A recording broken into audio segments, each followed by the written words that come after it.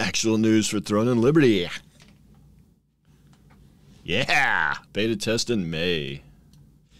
Only for Koreans. You can apply on their site from May 2nd to May 14th, but again, it's Korean only. I wonder if it's on site again. If it's not on site, maybe you can use a VPN, but in the last test, you had to have a Korean phone number and they would text you a code, I assume, something like that. And uh, so I think it's going to be pretty hard for us in the West to sign up for it. But I'm, of course, going to try. And if I figure out how to do it, uh, maybe I'll let you guys know. But if I let you guys all know, then it lowers my chances to get in. so uh, we'll see how that goes. I assume I won't be able to sign up because I'm assuming they'll do like the last one where you need a Korean phone number to sign up and a Korean email address and things like that. Korean email address, I could probably come up with a way to get that. Korean phone number, I'm not sure how I'm going to accomplish that one. And if it's on site, well, then definitely not going to be able to do that. And it's a whole week long, May 24th to May 30th. They decided to do a beta test to improve completeness by receiving more objective user opinions.